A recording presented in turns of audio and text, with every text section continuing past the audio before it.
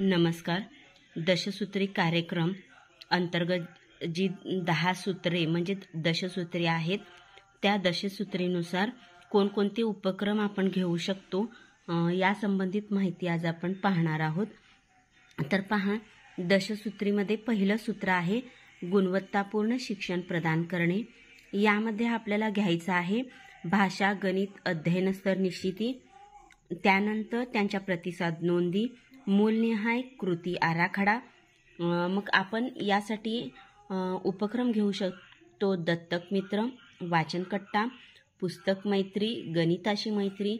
मी व्यक्त होणार श्रुतलेखन अक्षरशिल्प भाषिक व गणिती खेळ. त्यानंतर दुसरं सूत्र आहे स्पर्धात्मक व कौशल्यधारक विद्यार्थी तयार करणे. या अंतर्गत तुम्ही घेऊ शकता मी अधिकारी होणारच स्पर्धा परीक्षा तयारीचा उपक्रम. प्रश्न माझे उत्तर तुमचे.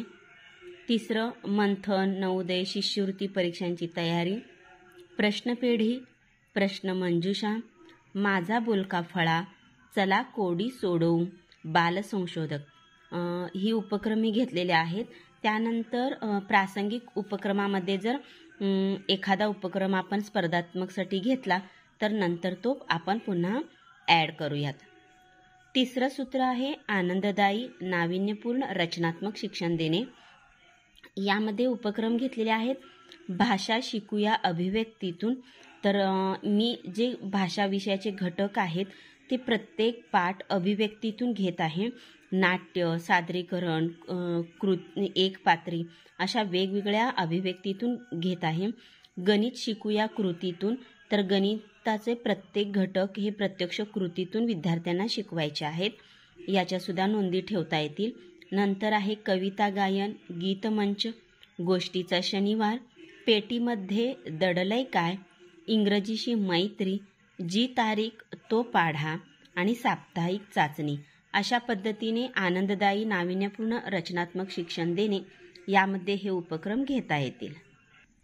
दशसूत्रीतील चौथं सूत्र आहे आरोग्यपूर्ण मूल्य संस्कारक्षम विद्यार्थी तयार करणे. यासाठी उपक्रम घेता येतील. मी कसा दिसतो? स्वच्छतावीर स्वच्छता दूत जयंत्या व पुण्यतिथ्या. ओळख एका व्यक्तिमत्वाची. आरोग्य तपासणी मातृपितृदिन गुरुपौर्णिमा श्रमसंस्कार शिबिर आणि क्रीडा स्पर्धा. ओके? त्या प्रत्येक उपक्रमाची सविस्तर माहिती पुढील व्हिडिओमध्ये देण्यात येईल. पाचवं सूत्र आहे तंत्रस्नेही व आय टी सक्षम विद्यार्थी तयार करणे. त्या संदर्भातील उपक्रम आहेत संगणक तासिका संगणक प्रयोगशाळांना भेट संगणक कार्यशाळा संगणक दिन प्रश्नमंजुषा विज्ञान प्रदर्शन ऑनलाईन चाचण्या तंत्रस्नेही शिक्षक मुलाखत तंत्रज्ञान फायदा तोटा यावर वादविवाद आपण घेऊ शकतो. सहावं सूत्र आहे सुप्त गुण शोधून त्याला प्रोत्साहन देणे. यासाठी उपक्रम आहेत दप्तराविना शाळा सांस्कृतिक कार्यक्रम भाषण स्पर्धा नृत्य स्पर्धा गायन स्पर्धा बालनाटिका पथनाट्य मेळावे महिला दिन बालिका दिन कला कार्यानुभव कार्यशाळा. अशा प्रकारचे उपक्रम तुम्ही घेऊ शकता. ओके? त्यानंतर सातवं सूत्र आहे स्व अभिव्यक्तीस प्रोत्साहन लेखक कवी निर्मिती. यासाठी तुम्ही उपक्रम घेऊ शकता. निबंध स्पर्धा कथामाला वेशभूषा सादरीकरण म्हणजे वेशभूषेतून लेखक कवी यांचं सादरीकरण करायचं. छंदवर्ग पत्रमैत्री हस्तलिखित विद्यार्थी हस्तलिखित शिक्षक हस्तलिखित तुम्ही तयार करू शकता. बालदिन फन फेअर ओके? त्यानंतर आठवं सूत्र आहे ज्ञानातील आधुनिकता. नवपद्धती ग्रहणासाठी शिक्षकांनी प्रयत्न करणे. यासाठी तुम्ही उपक्रम घेऊ शकता. शैक्षणिक प्रगती. म्हणजेच शिक्षकांनी स्वतःची शैक्षणिक प्रगती साधायची आहे. लेख कविता पुस्तके लेखन व प्रदर्शन यामध्ये सहभागी व्हायचं आहे. तंत्रज्ञान कार्यशाळा घेऊन शिक्षकांनी तंत्रस्नेही व्हायचं आहे. तर पहा ज्ञानातील आधुनिकता आणि पद्धती यासाठी शिक्षकांनी प्रयत्न करणे म्हणजे प्रथमतः स्वतः शिक्षकांनी आपल्या ज्ञानात आधुनिकता आणायची आहे. त्याचबरोबर विद्यार्थ्यांच्या ज्ञानातसुद्धा आधुनिकता निर्माण करायची आहे. तंत्रज्ञान कार्यशाळा शैक्षणिक साहित्य प्रदर्शन व निर्मिती नवोपक्रम शोधनिबंध शिक्षक दिन महिला दिन यातूनसुद्धा यातून सुद्धा तुम्ही विद्यार्थ्यांना नवपद्धती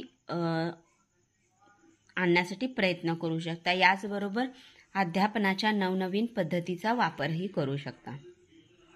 नवं सूत्र आहे. स्वावलंबन प्रवृत्तीला चालना देत देशभक्ती व मातृपितृभक्ती वाढविणे. यासाठी उपक्रम आहेत. राष्ट्रीय सण समारंभ समूहगीत गायन चित्रकला स्पर्धा रक्षाबंधन स्वच्छता अभियान नाना नानी भेट आदर्श विद्यार्थी पालक तर तुम्हाला तुमच्या वर्गातून आदर्श विद्यार्थी आदर्श पालकसुद्धा तुम्ही स्पर्धा घेऊ शकता. दहावं सूत्र आहे गुरुकुल पद्धतीला उजाळा देत शंभर टक्के शिक्षक विद्यार्थी उपस्थिती.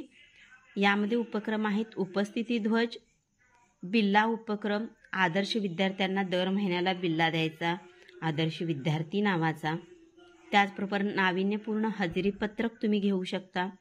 गुरुपौर्णिमा शिक्षक दिन शिक्षक आमच्या भेटीला नवनवीन शिक्षकांची ऑनलाईन भेट विद्यार्थ्यांना घडवून आणू शकता किंवा प्रत्यक्ष शाळेत सुद्धा त्यांना आमंत्रित करून त्यांच्या मुलाखती घेऊ शकता. माजी शिक्षक विद्यार्थी मेळावा तर शाळेचे जे माजी शिक्षक विद्यार्थी आहेत त्यांचे मेळावे सुद्धा तुम्ही आयोजित करू शकता. तर अशा पद्धतीने आपण दशसूत्री अंतर्गत दहा सूत्र आणि त्या दहा सूत्राशी संबंधित उपक्रम केलेला आहे आणि त्याच उपक्रमाचं प्रासंगिक नियोजन या ठिकाणी दिलेलं आहे. पूर्वीच्या व्हिडिओमध्ये सुद्धा हे देण्यात आलेलं आहे. तर अशा पद्धतीने मी तुम्हाला दहा उप दहा सूत्र आणि त्या दहा सूत्रांना अनुसरून उपक्रम या ठिकाणी सादर केलेले आहेत.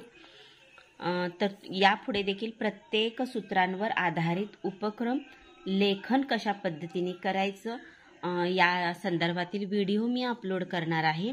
तुम्ही जर सबस्क्राईब केलं नसेल तर सबस्क्राईब करा. बेल आयकॉनवर क्लिक करायला मात्र विसरू नका. जेणेकरून एखाद्या वेळेस मी जर व्हिडिओ शेअर नाही केला तरी त्या व्हिडिओ अपलोड केल्यानंतर नोटिफिकेशन जर तुम्हाला मिळवायची असेल तर तुम्हाला बेल आयकॉनवर क्लिक करावंच लागेल. Okay thank you